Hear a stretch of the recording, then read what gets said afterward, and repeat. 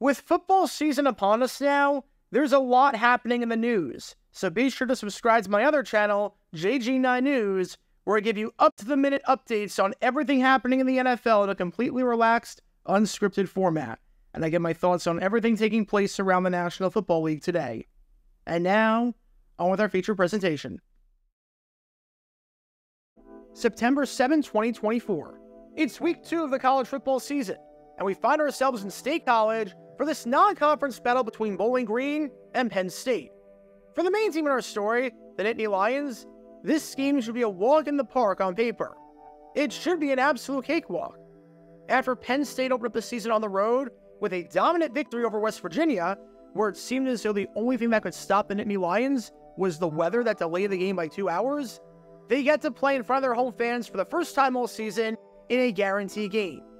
When Penn State and Bowling Green signed the contract to play each other back in 2017, it was reported that Penn State was paying Bowling Green a whopping $1.5 million. And when you combine that with the fact that the spread for this game was Penn State by 34.5 points, with Penn State being roughly a five touchdown favorite to win, yeah, that's the kind of game I think everyone expected here, and understandably so. And with all of that in mind, you would think that there's no way whatsoever that this game will be close, right? Bowling Green's just going to come into Happy Valley in Penn State's home opener, collect their seven figure paycheck for doing so, and get absolutely smoked against the number eight team in the country, right? Well, that could not have been further from the truth. Because in a shocking outcome, after Bowling Green scored on each of their first three drives and had three touchdowns in their first five drives, the Falcons found themselves up on the Nittany Lions 24 17 near the end of the first half, in what would have easily been the biggest upset of the season and one of the biggest upsets in college football in quite some time. Still, there's plenty of time left, and Penn State has the football, faced with third down at Bowling Green's nine yard line. The Nittany Lions have a timeout at their disposal if they need to use it for some reason, but you hope it doesn't get to that point. On third and seven, Penn State ends up losing two yards after getting a sack, and they move back from the nine yard line to the 11 yard line. Well, that's unfortunate, and that sinks, but at least you're likely going to be able to get three points out of this, and at least the clock is still running. So Bowling Green can't touch the ball again. Just wait a few seconds, call your timeout with four or five on the game clock, and go into the half hopefully down by four. Just wait a few seconds, don't call the timeout immediately, and you, uh, you, you, you call the timeout right away? You call the timeout right away? But why? Why would you do that?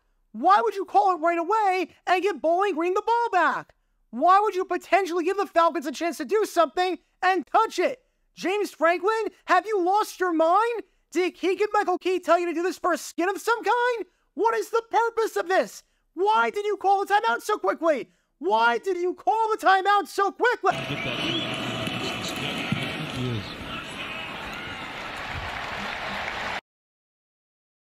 Welcome to Dumb Decisions.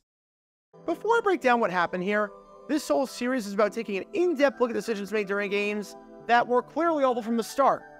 This isn't something to look bad in hindsight. Rather, this is something to look awful almost immediately. These are moves where your gut instinct tells you right away that there is no way this can possibly work. And sure enough, your gut instinct was smarter than that of a college head coach. And for this one, we're taking a look at the mind of Penn State head coach James Franklin. I feel as though the relationship that Penn State fans have with Franklin is very complicated. On one hand, yes, he does win games. Penn State is consistently finishing ranked and inside the top 10. On the other hand, he hasn't quite gotten the Nittany Lions over the hump, and a lot of that has to do with some absolutely baffling in-game management decisions on his end. Nothing's going to top that 4th and 5 run against Ohio State after calling a timeout. That will forever be one of the stupidest things I've ever seen a coach do. And this decision right here was pretty freaking stupid. Did it end up mattering? No, as Penn State, by the skin of their teeth, survived the guarantee game and got the win.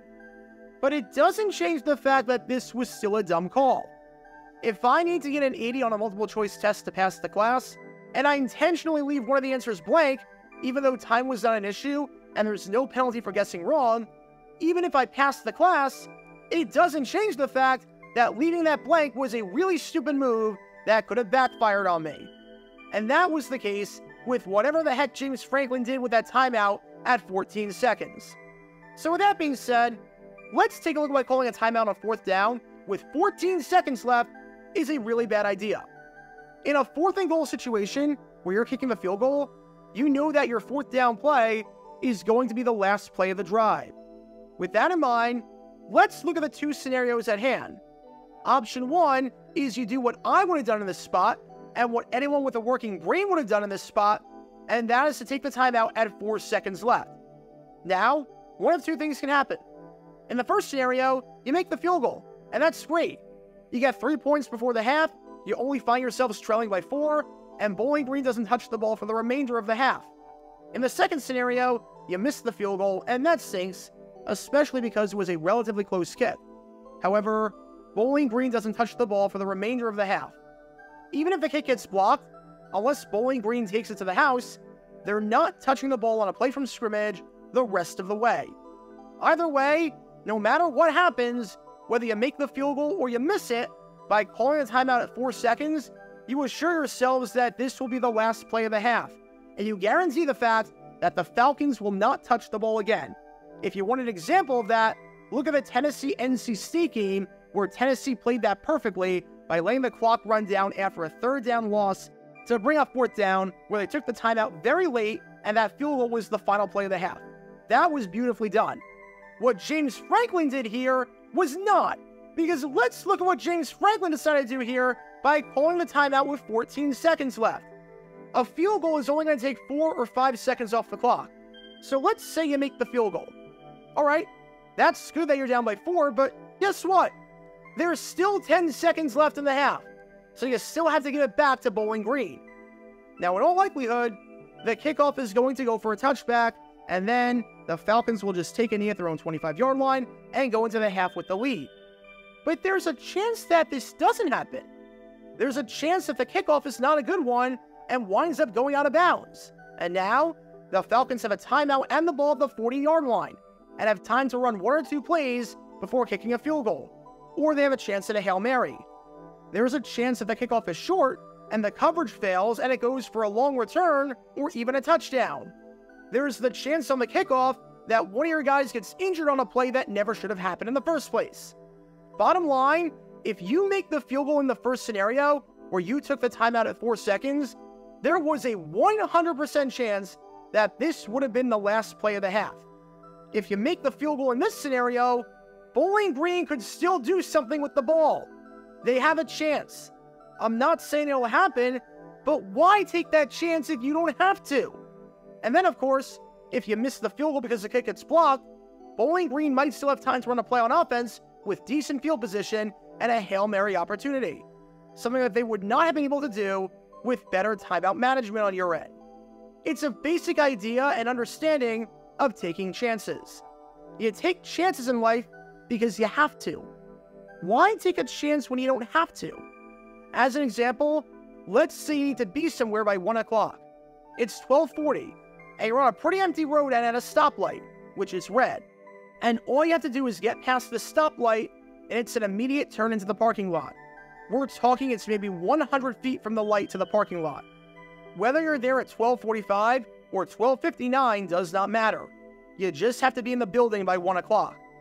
Option one is to wait for the stoplight to turn green and then go and get into the lot. Option two is to just ignore the red and go. Is it likely that you get hit by a car since it's an empty road? Is it likely that there is an undercover cop somewhere who's going to pull you over because you ran the red? Probably not. But again, why take that chance? There's no reason to do so. Make the field goal be the final play of the half, no questions asked and make it so that Bowling Green has zero opportunity to call a play from scrimmage or get good field position. Don't do, well, whatever the heck this was, where you call the timeout for no reason to give it back to the other team. If you like the NFL, it's sort of what happened last year in the Thursday night football game between the Denver Broncos and the Kansas City Chiefs. Remember that one? After the Broncos got sacked and got fourth down with 15 seconds left in the half, the Broncos inexplicably decided to call a timeout, giving Kansas City the ball back for no reason whatsoever. There was no reason for Sean Payton to call a timeout and give the Chiefs an extra possession.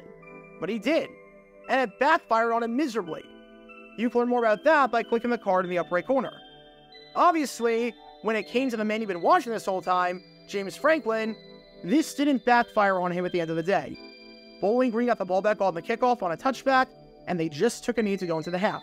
So this was no harm done. But still, there was no need for that to happen. You whisked a massive kickoff return for no reason. You whisked a kickoff out of bounds and good starting field position for no reason. You risked a field goal getting blocked and returned, and the opposition having good starting field position for a Hail Mary or long field goal of their own for no reason. Bottom line, you win the game by scoring points, and you score points by having possessions. So if you're giving the other team an extra possession when you literally do not have to, then it's a bad move. Point blank, it's a bad move. So what do we learn from all this? If you have two options, and one of them is guaranteed to not give the ball back to the opposing team, while the other is guaranteed to do that, then pick the option that is guaranteed to not give the ball back. If you have two options, and one of them ensures the fact that the other team cannot do anything and you're touching the ball last, while the other one ensures the fact that the other team will touch the ball last with a chance to do something, then pick the option that is guaranteed to make sure that you're touching it last. If your play is guaranteed to be the final play of the drive, and your play can take the clock all the way down to triple zeros at the end of the half or the end of the game, then you might as well take it all the way down and not leave anything to chance when you do not have to. And if you do not know how and when to call timeouts and how possessions work, which is a very fundamental thing in football, then you're probably not getting your team over the hump anytime soon. Because when all these elements are in play, you can't exactly be surprised when this play backfires. Talk about a dumb decision. Get your official Jaguar Gator 9 merchandise by going to jg9shop.com and be sure to like and subscribe, as it really helps the channel out a lot. Join me every Wednesday night where we'll play NFL trivia for cash prizes at 9 p.m. Eastern over on Twitch. To learn more about the history of college football, subscribe to Jaguar Gator 8. To learn more about the history of Major League Baseball, subscribe to Jaguar Gator 7. Also, special thanks to all of our Patreon supporters for helping out the channel. Your support is greatly appreciated. See how you can become a patron and request future video topics in the description below.